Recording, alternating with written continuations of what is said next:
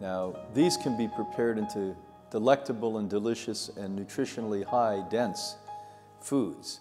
If you look at, for instance, almonds that you make into a powder and add some pure water into it and season it, they can be made into pates and loaves. Filberts, macadamia nuts, pine nuts, a wide array of extraordinary foods for us. Now, we don't want you to go completely bonkers on this and eat too many nuts, but they are good substitutes. Here at Hippocrates, we have them as our main courses two or three days a week. Number two, you have seeds. Everything from a sunflower seed to a pumpkin seed to a sesame seed to a hemp seed, etc. Like we can make burgers and loaves out of the nuts, you can do the same with the seeds. A little bit easier for most people's body to digest. Always put them into powders.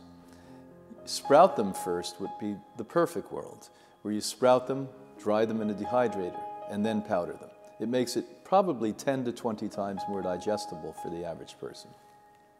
Great foods, uh, just don't overdo it on it. I know from my own life, I much overdid it. And I ate so many nuts in the early stages because I was emotional about eating. I literally felt I contracted hemorrhoids from it. So you don't want to go and take my footsteps as an example for you. We look at grains and we look at beans. When somebody comes to us who are thin or wanting to gain weight, or they're athletes who want to gain muscle, this is a category we, move into. So a sprouted quinoa or amaranth or teff, uh, we can make these into delectable foods and similar to the nuts and seeds, recipes like this that we dehydrate.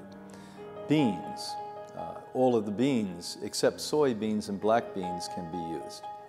And these are tremendously high metabolism slowing foods, high energy levels, and have high protein contents if you remain in the good categories of grains and beans. So these are perfect foods for people to eat.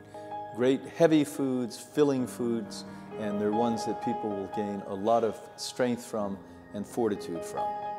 Uh, the only thing that I may add to that is the two nuts that you avoid are really not nuts. One is cashew, because cashew is heated in the process of extraction and becomes a carcinogen, and also peanuts, which are a legume. Uh, even raw, quote, organic peanuts are not good for you because they have aflatoxin on it and a very low quality oil. So great foods, nuts and seeds, grains and beans, consume them, make them part of your diet. When you're not eating a grain and bean, maybe you'd be eating a nut or a seed.